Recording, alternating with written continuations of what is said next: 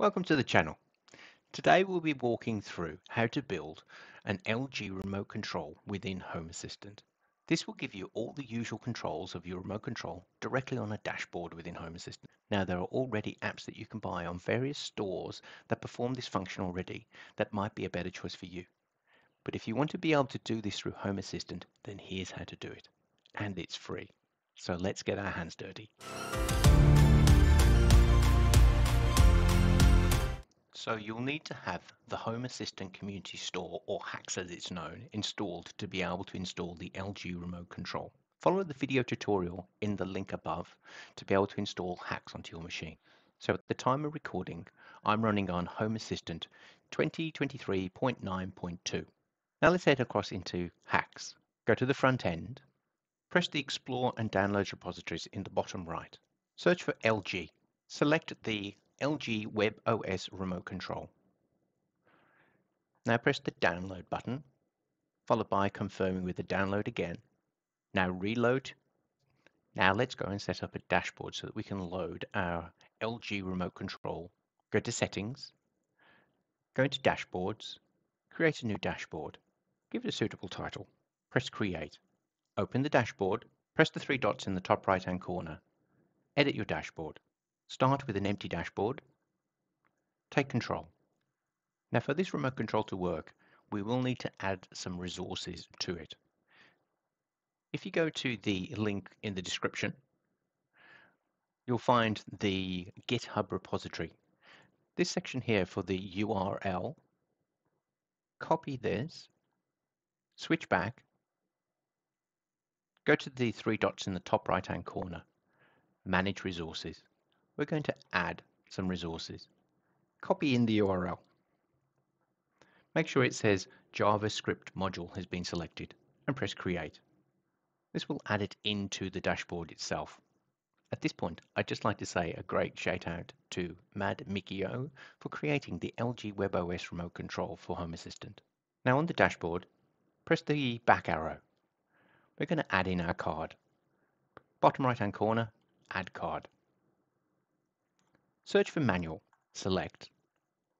Now in the section where it says type, you can see there's no preview available for it. We're going to copy some code that's in the description below. Now there are two things we need to change here. One is the entity type. If you press back and delete back to the place where it says media player, then put a full stop in. It will display all of your media players. Select your LG TV. Now we need to change the MAC address.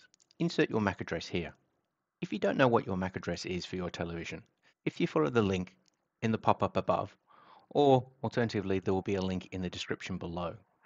There's another video that we put out in relation to sending notifications to televisions.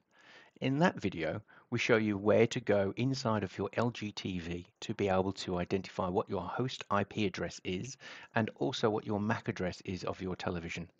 You'll need to make a note of those ones because you'll use those later on. Once you've found what your MAC address is, type it in here and press save, and then press done. Now we need to make one final update to the configuration.yaml file using Studio Code Server. If you don't have Studio Code Server loaded, then if you go to the link in the pop-up above, also in the description below, there's a tutorial on how to install it. Move across into Studio Code Server. Edit your configuration.yaml file we're going to be adding the following into our configuration.yaml file. It doesn't matter where you put it, so put it at the bottom of the actual file. I'm going to be assuming that you haven't installed Wake on LAN, which is required for the LG remote to be able to turn on and off the TV. So I've included that at the top. Underneath it, the section that you'll need to change will be the host address, which will be the IP address of the TV that you copied down from before, and the MAC address, which again you would have copied down when you followed through the other video. I've included some sources, but you can change these to whatever is relevant to yourself. Once you've entered this, you can exit out of the configuration.yaml. Now we need to restart Home Assistant to be able to make sure that the changes are applied. Move across into Developer Tools. Press Check Configuration. If it comes back with configuration will not prevent Home Assistant from starting, you can now restart.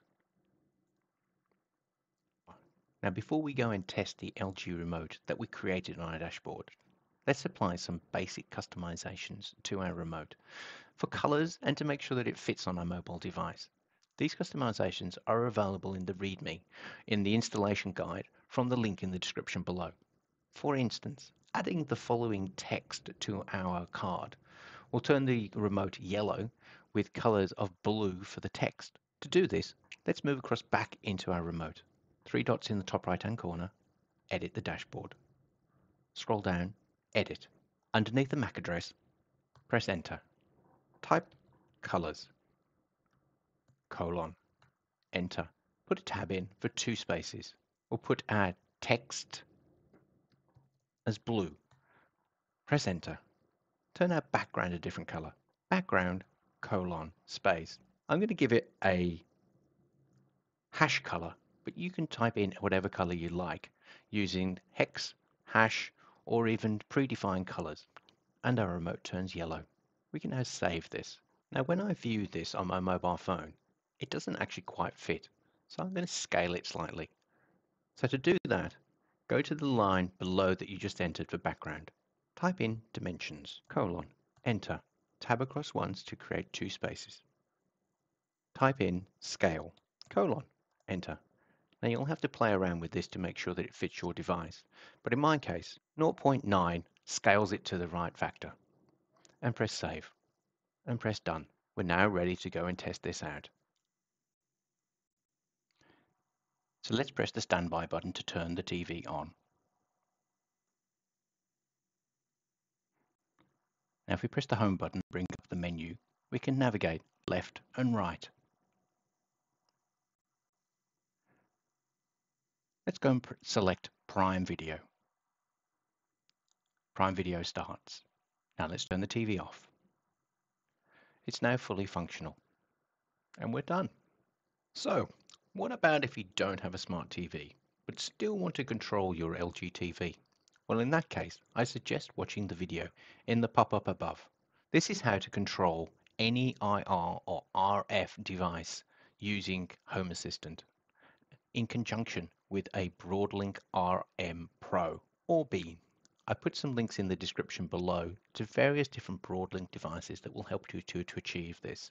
So there you have it an LG remote control that can be viewed through Home Assistant to emulate the physical LG remote control that you can personalize to meet your specific needs for functionality and appearance. I hope you enjoyed the video and consider subscribing so that you can join us on our smart home journey. See you on the next one.